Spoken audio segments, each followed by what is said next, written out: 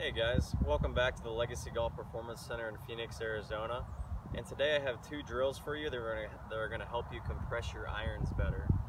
So the first drill is going to be the one-handed chip shot here. And basically what I'm doing is I'm hitting I'm hitting chips with just my trail arm here.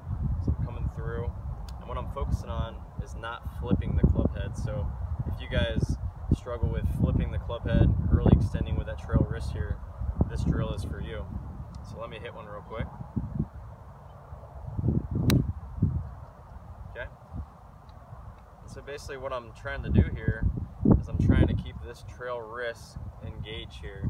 I don't want to extend that trail wrist because that's where the flip comes from. And also I'm focusing on rotating through with my belt buckle.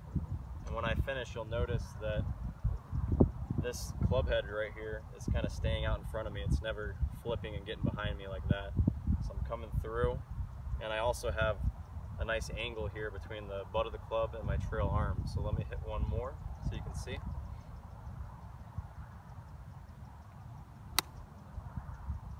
All right. The next drill that I have here is the towel drill. So with the towel drill, I'm gonna put this towel about six to eight inches behind my ball here. And I'm really focusing on the same thing. So I'm gonna make swings, kind of keeping this trail wrist engaged here, not extending it. And I wanna miss this towel. And if I hit this towel, that means that I probably flipped it, I stood up, lost my angles, and I probably didn't rotate very well either. So let's hit a shot here.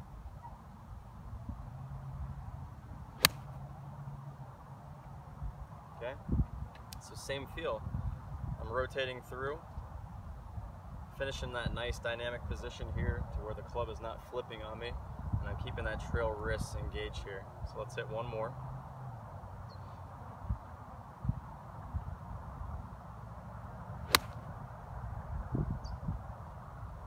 Alright guys, so give these two drills a try. I hope they help.